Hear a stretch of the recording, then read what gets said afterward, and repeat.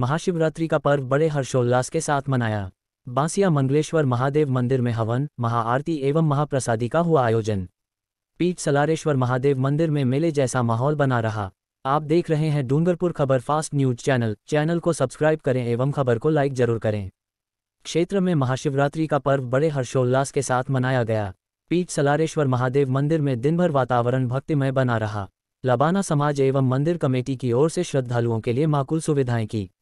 Gajendra Kalal Shivam finance की ओर से प्रसादी वितरण किया गया। धम्बोला खाकलेश्वर महादेव मंदिर में सुबह से ही श्रद्धालुओं की भीड़ उमड़ी। सुबह प्रभात फेरी का आयोजन किया गया। श्री पूंजदेव मंदिर संस्थान की ओर से विशेष पूजा अर्चना कराई गई एवं श्रद्धालुओं के लिए पेयजल प्रसादी वितरित की गई। बांसिया मंगलेश्वर महादेव मंदिर में महाशिवरात्रि का पर्व बड़े हर्षोल्लास के साथ मनाया गया।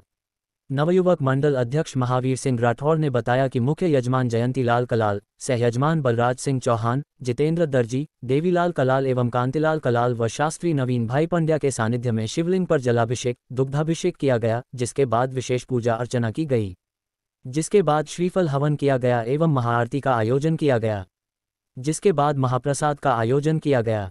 पंचायत समिति सदस्य विमल प्रकाश डोडियार कुंदन सिंह चौहान, हमराज सिंह, हरेंद्र प्रताप सिंह चौहान, चंद्रवीर सिंह राठौर, शंभूलाल कलाल, गुणवंत कलाल, दिनेश कलाल, नेपाल सिंह, चिमन यादव, योगेश कलाल, हेमंत कलाल, अजीत सिंह राठौर, अर्जुन कलाल, अर्जुन सिंह, अजय दर्जी, छोटू, राजेंद्र बंजारा, तेजपाल बंजारा, बंशीलाल रावल, जीवरामा रावल, पंकज बंजारा, जगदीश बंजारा, दिलीप डोडियार भुर्जी भाई भरत दर्जी, अजीत सिंह चुंडावत सहित बड़ी संख्या में श्रद्धालु मौजूद रहे।